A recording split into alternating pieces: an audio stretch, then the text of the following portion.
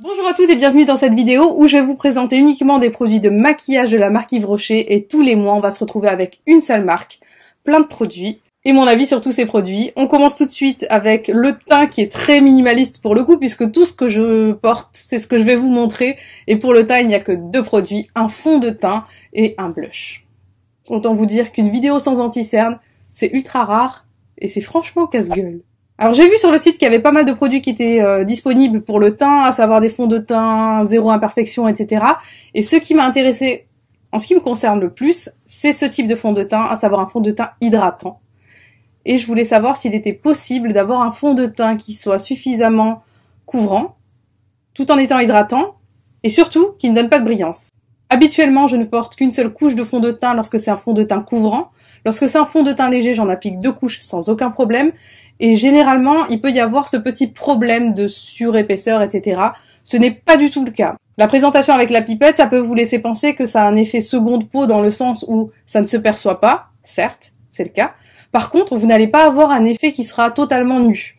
Alors, la première euh, application du fond de teint laisse quelque chose de très naturel, mais la seconde camoufle très bien ce qui a camouflé, et vous pouvez voir sur mon visage en fait que je ne porte pas d'anticerne.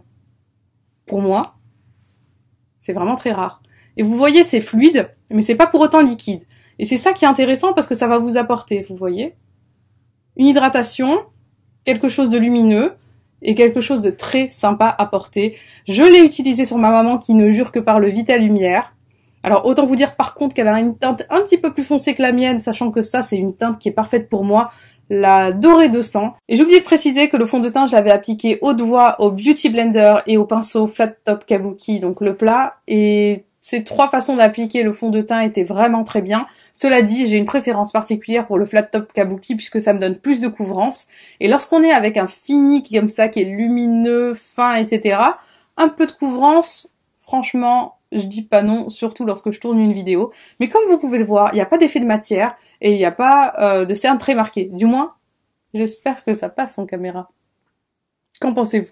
La marque l'a appelé Nude de teint hydratant, donc c'est un côté zéro matière qui est recherché, mais je trouve pas qu'il est zéro matière comme d'autres fonds de teint dans le sens où il est aqueux. Au contraire, il apporte une matière hydratante qui est par la suite imperceptible sur la peau et c'est ça qui est intéressant. Du coup, ça me donne un côté plus vivant, moins figé qu'un fond de teint mat avec ce côté lumineux sans pour autant être irisé ou alors être brillant comme du sébum en excès. Et c'est ce type de fond de teint que j'aime et je pense vraiment qu'il va faire partie de mon top des fonds de teint de l'année. J'ai beaucoup de fonds de teint à vous présenter, j'ai eu énormément de coups de cœur dernièrement, mais celui-ci, en matière de nude lumineux, je trouve qu'il est très intéressant. Et en plus de ça, il pourra plaire à beaucoup de personnes. Je pense notamment à ma maman et aux peaux matures, ça peut être très intéressant dans la mesure où ça n'a pas du tout un côté asséchant, loin de là. Un coup de cœur pour moi, c'est les blushs de la marque. Et en fait, j'ai testé le blush qui s'appelle Rose Hortensia numéro 5. C'est un framboise qui est plutôt satiné. Il n'est pas mat, il n'est pas irisé non plus.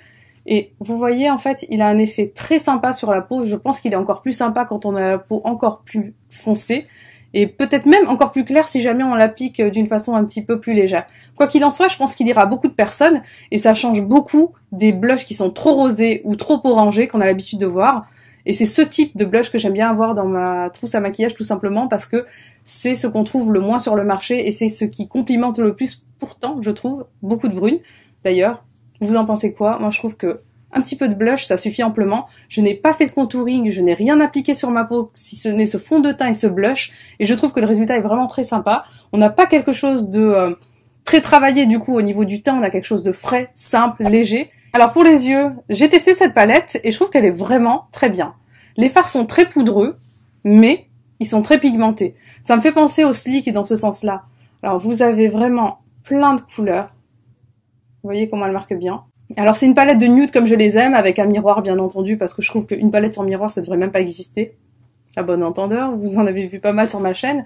Et je veux dire que c'est le truc qu'il me faut. Une petite palette simple à emporter avec 10 couleurs, en plus c'est parfait. Il y a 5 mats, 5 irisés. C'est des couleurs vraiment très simples à porter au quotidien. C'est ce que j'ai appliqué uniquement sur mon regard, à savoir euh, des couleurs claires parce que j'aime bien faire des mélanges, mais aussi du foncé que j'applique comme un liner et que j'estompe par la suite, de façon à avoir quelque chose qui soit quand même euh, plus vibrant au niveau du, du regard. Je pense que vous me rejoignez sur ce point-là.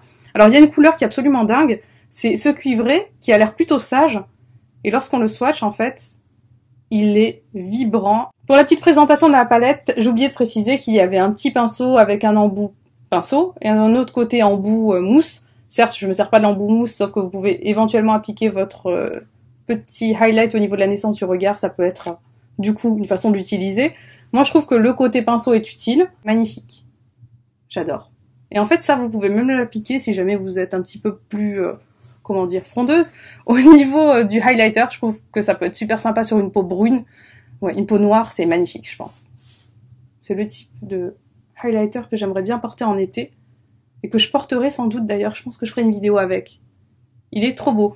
Et il y a des teintes donc qui sont très sympas, qui sont taupe grisées, qui passeront très bien pour les sourcils, même si ils font quand même de très bonnes choses au niveau des sourcils, on en reparlera. Et la teinte c'est Nude 01 si vous la recherchez sur le site. Je vous mets tout dans la barre d'informations dans tous les cas et tout sur le blog aussi.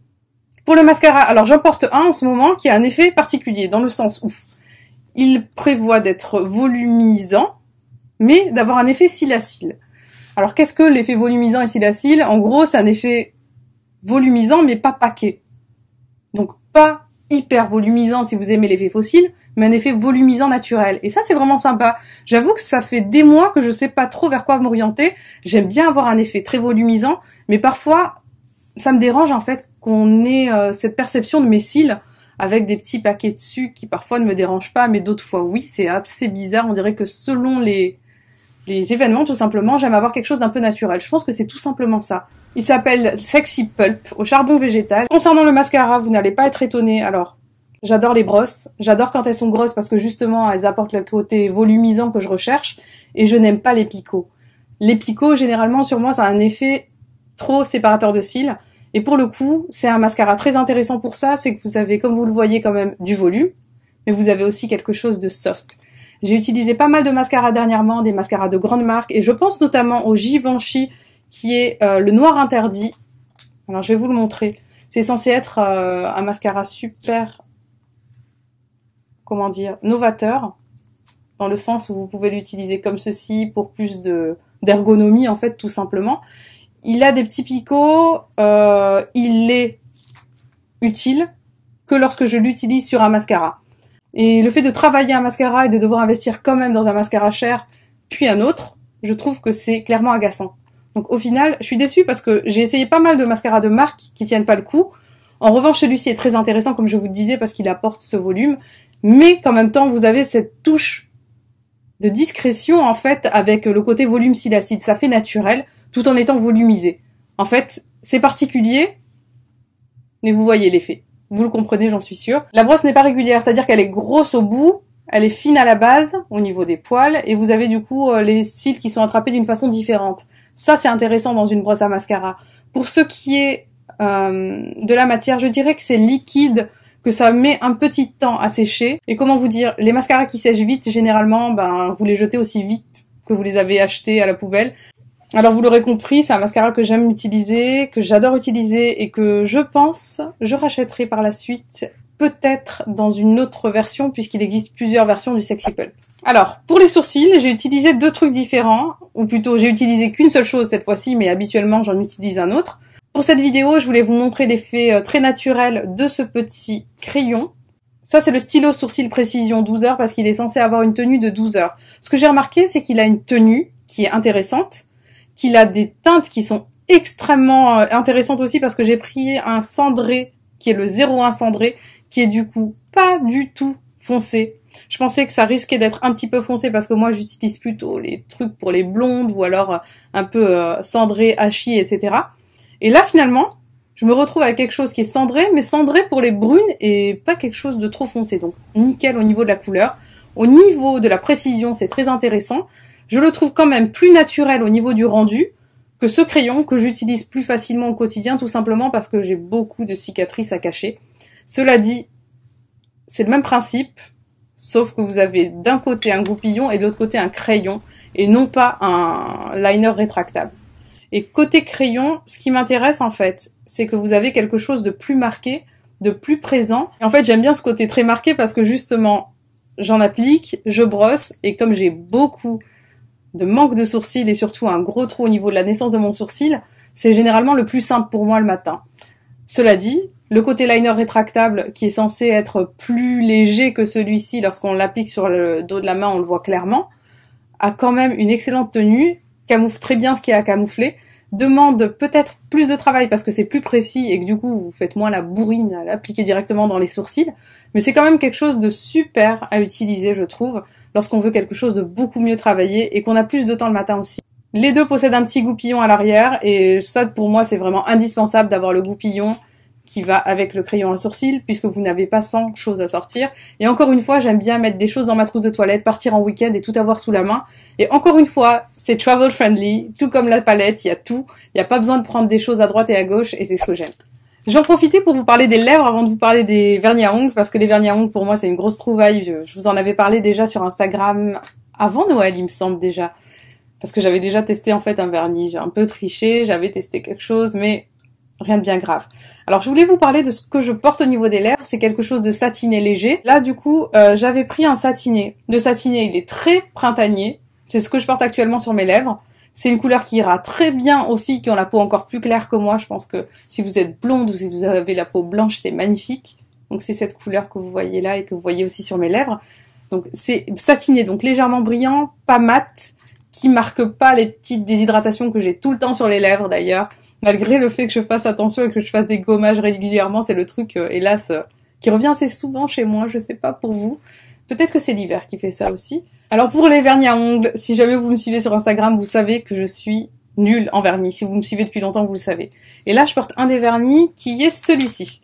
C'est pas celui que je vous ai montré sur Instagram. Celui que je vous ai montré sur Instagram, je crois qu'il s'appelle euh, pourpre, cerise pourpre, quelque chose dans le genre. Et en fait, c'est un, un vernis qui est encore plus profond que celui-ci. Donc là, j'ai appliqué qu'une couche parce que j'avais envie de quelque chose d'un peu plus printanier, c'est bizarre en ce moment. Mais en gros, c'est quelque chose de plus profond que vous allez avoir avec ce vernis. Lorsque vous en appliquez deux couches, c'est magnifique. Mais justement, pour vous montrer la différence avec celui que je vous avais montré sur Instagram, qui est légèrement plus profond, mais qui est quand même euh, très similaire, on va dire. C'est le genre de couleur que j'adore porter au quotidien, en été comme en hiver. C'est pas un problème pour moi. Mais là, j'avais envie pour la vidéo de faire un petit peu plus euh, Springtime. J'adore me transformer en, anglophone le temps d'une vidéo. Et j'aime beaucoup ce vernis à ongles parce qu'en fait, vous avez un pinceau qui me permet enfin, en tant que nul du vernis, d'appliquer mon vernis facilement en une application et sans en mettre partout. Parce que je suis nulle. Quand je vous dis nul, c'est nul. Je me promène parfois sans vernis parce que j'ai la flemme d'en mettre, je ne sais pas en mettre, et ce pinceau a une forme parfaite. Je pense qu'il est fait pour toutes les nulles. Je pense qu'il est fait pour tout le monde, vraiment. Il coûte pas cher. Je crois qu'il fait 3,90€. J'ai la teinte qui s'appelle euh, cerise noire. Non, c'est celui-là, cerise noire. Donc l'autre, c'est rose pourpre. C'est ça, rose pourpre. Rappelez-vous du nom, il est magnifique. Ça, c'est un nude qui est super sympa, un peu lilas, qui s'appelle comment? Comment tu t'appelles? Magnolia 01. Super joli. Celui-ci, alors là, euh, c'est celui que j'adore porter en été. Hein. Vous me connaissez, vous savez que j'aime bien les couleurs un petit peu pop comme ça, surtout sur les orteils. C'est hibiscus rouge, donc c'est un rouge vermillon, je dirais. Et ça, c'est un rose qui, par contre, a des irisés. Donc je m'attendais pas forcément à ce qu'il y ait des irisés, je m'attendais à un rose nude mat. Il s'appelle Bay Rose. Si vous le voyez, c'est le numéro 21. Dans les commentaires, j'aimerais beaucoup que vous me disiez quelle marque vous voudriez voir la prochaine fois en plein phare. N'hésitez pas à me dire ce que vous en pensez, n'hésitez pas à commenter, à liker la vidéo, à la partager. Et je vous dis à très très vite dans une nouvelle vidéo, parce qu'il y a pas mal de nouvelles vidéos qui vont arriver, je vous assure. Restez branchés, ciao